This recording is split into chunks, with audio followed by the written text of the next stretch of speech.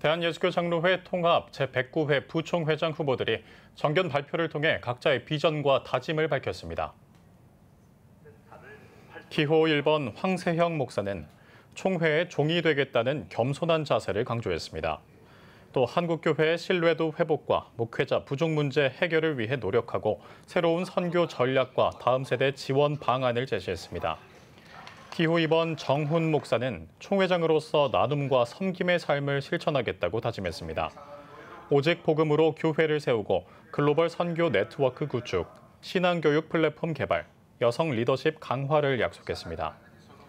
기호 3번 양원용 목사는 총회 영적 각성 운동과 투명한 운영을 강조했습니다. 또 총회 연금의 안정적인 운영, 남북 통일 및 세계 선교를 위한 비전을 제시하는 총회장이 되겠다고 다짐했습니다. 장로 부총회장 후보로는 윤한진 장로가 단일 후보로 나섰습니다. 예장통합선거관리위원회는 목사 부총회장 선거의 공정성을 유지하기 위해 금품 수수 방지에 협조해달라고 당부했습니다.